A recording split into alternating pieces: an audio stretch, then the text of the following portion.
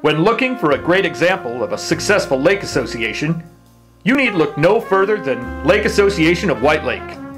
Formed in 1999, the association is an exemplar of how to bring their entire community, including businesses, schools, governmental organizations, and recreational users, into the important work of protecting and preserving the lake that serves as a centerpiece of the community. Nearly entirely membership funded, the Lake Association of White Lake's list of accomplishments is impressive, and too long to list here.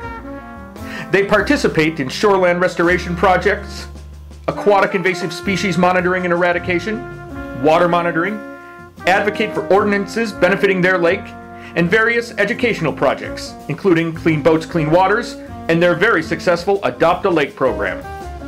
In the words of one supporter, White Lake is one family, and the Lake Association is the glue that binds them all together.